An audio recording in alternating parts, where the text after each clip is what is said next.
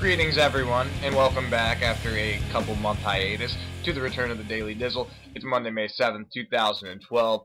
Tommy Dizzlemits himself, Tom Donardi. You do not like that nickname, you do not have to be watching. So uh, just take that into consideration. Uh, sometimes work just tends to get in the way of me wanting to dick around and do the things I'm entertained by. Um, and if I can't do the things I want to do to the best of my ability, then I'm usually just going to be like, fuck it for a while. So uh, that's why we had a break. I'm not going to bring my A game, no point in bringing any kind of game. Um, so today we're just going to kind of streamline it, try and get back into the rhythm of things. I'm honestly going to hate calling this the Daily Dizzle for this week until I can at least get back into the rhythm. So uh, bear with us. It might take a bit, but uh, we'll get there. In case this is your first time joining us, um, what we like to do is just bring up some of the latest entertainment news and kind of streamline it and uh, make it easily digestible for you guys. So we're going to jump right in um, with the weekend box office. This is one of our big points that we like to cover. Um, we're not going to be talking about any other movies, uh, none of the ones that came out last weekend that all dropped over 50% in their second weekend, which means they're not going to be hanging around that long. Instead, we're going to just talk about the huge story, obviously. Marvel's The Avengers has set a new benchmark record for an opening weekend. It had a pretty decent midnight launch, actually beating out The Dark Knight by just a smidgen to claim the superhero midnight opening record.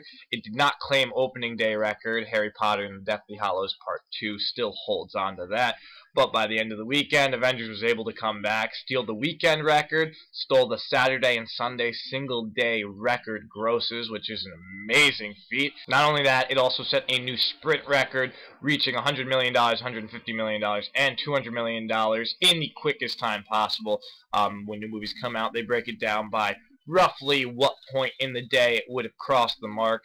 And uh, obviously, it has quickly beat out every other movie on record so far.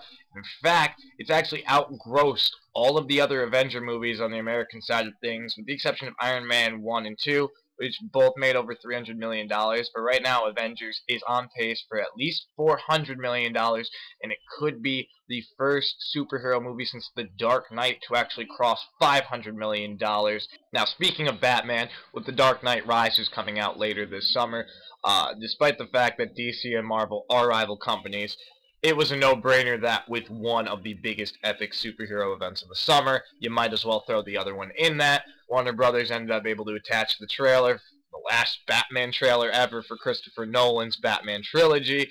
They put it ahead of Marvel Avengers that obviously had to lead some enhanced ticket sales.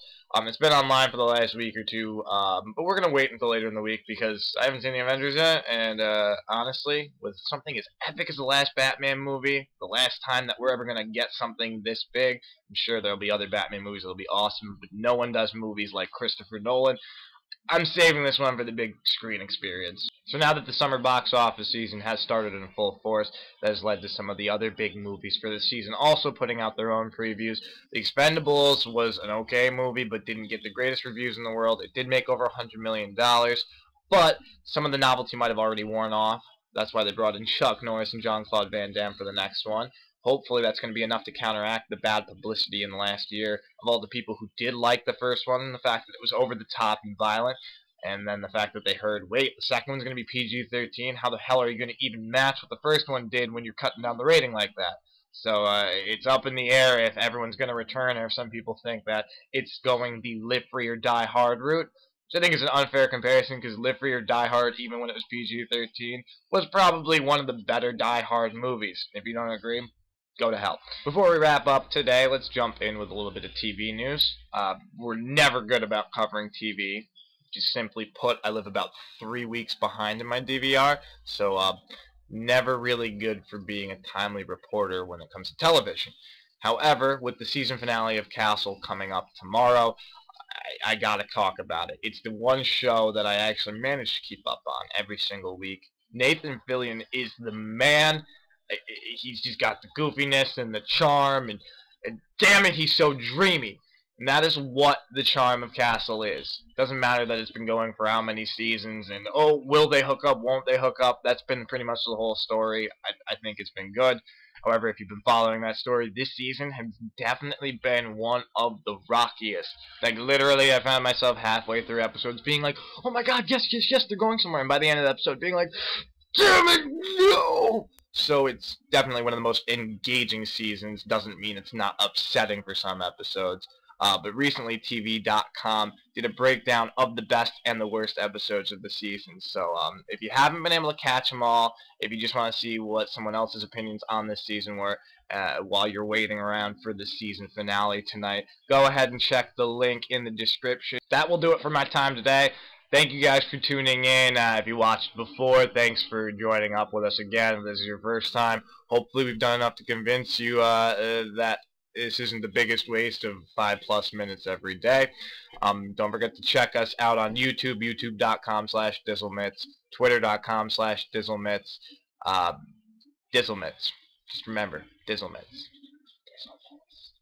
So yeah, that's all the time we've got for today. We thank you guys for joining us here as always. Be sure to check back tomorrow where you can get more of your Dizzle Daily. The Daily Dizzle and Tommy Dizzlemits. We'll see you guys then.